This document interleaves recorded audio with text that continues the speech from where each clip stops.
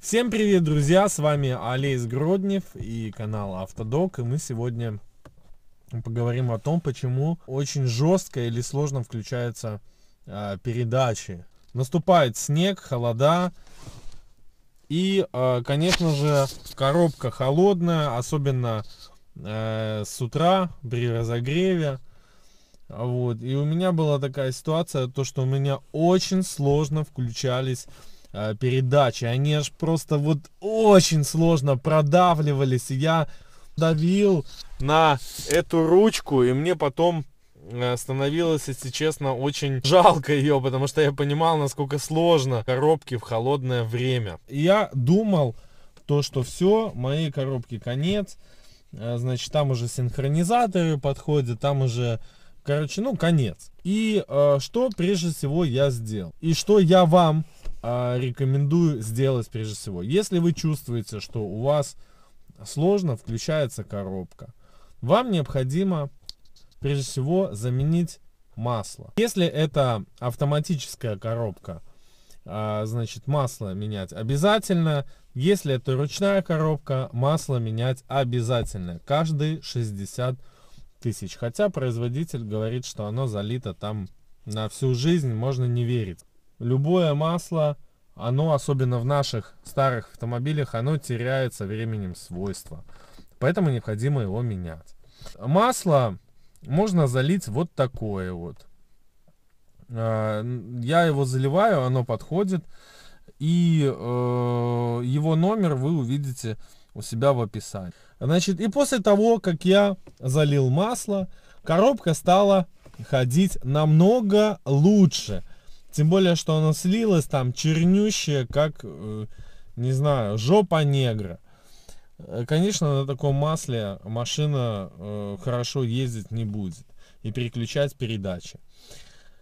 Первое. Меняем масло. Второе. Э, нам необходимо посмотреть, в каком состоянии у нас кулиса и при возможности ее смазать. Значит, в принципе, нам для того, чтобы смазать кулису, особо э, понадобится только наши руки, и средство, то есть смазка, лубрикант, как говорится научно. Что нужно сделать? Нужно взять и вот эту панель приподнять. Сейчас мы это сделаем. Вот. Значит, приподнимаем панель с кулисой. Что мы тут видим? А мы тут видим, друзья, проводки. Значит, это проводки, это идут на кнопки наших стеклоподъемников. А, значит, можно их отсоединять, можно не отсоединять. А, можно вообще полностью снять вот эту вот деревяшку. Но нас интересует именно вот этот вот механизм. Вот этот вот механизм. Так как кулисы наши старые, то э, они, естественно, там начинают уже плохо ходить. А, значит, что наша задача, что сделать? Задача взять ВДшку или любую другую жидкую смазку и хорошенечко там, значит, промазать все вот эти рычаги, все стыки, все вот эти гуляющие пластмасски и разработать кулису. То есть походить вперед, назад и так далее и тому подобное. Значит, и я уверяю, что после вот этих двух манипуляций э, переключение передач для вас станет сказкой.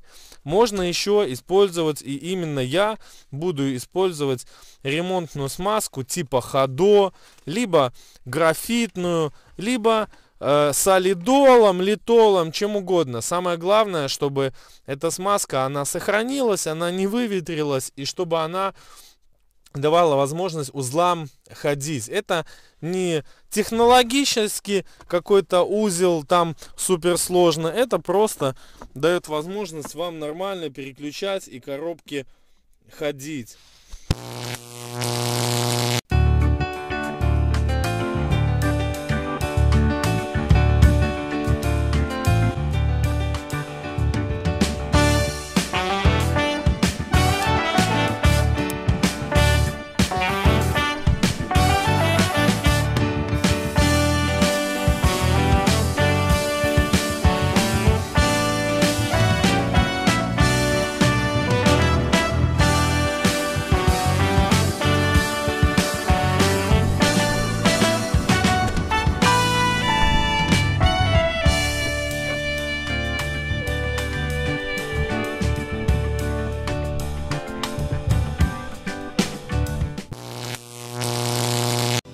Друзья, очень приятно, что вы меня смотрите. Именно поэтому я создал группу, где мог бы помочь в подборе и поиске а, хороших автозапчастей по доступным ценам.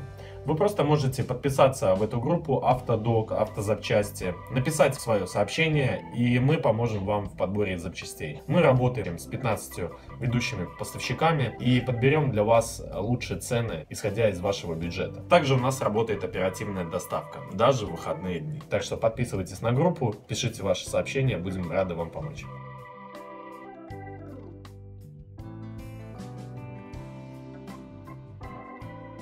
Мы поменяли масло, мы смазали нашу кулису.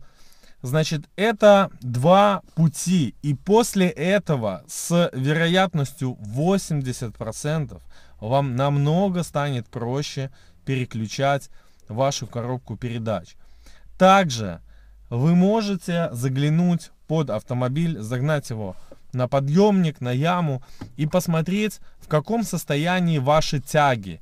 Там должно быть в ручной коробке три тяги, такие вот шарниры, которые ходят, между ними соединения. Посмотрите, в каком состоянии это соединение. Можете его почистить, можете его смазать, эти соединения.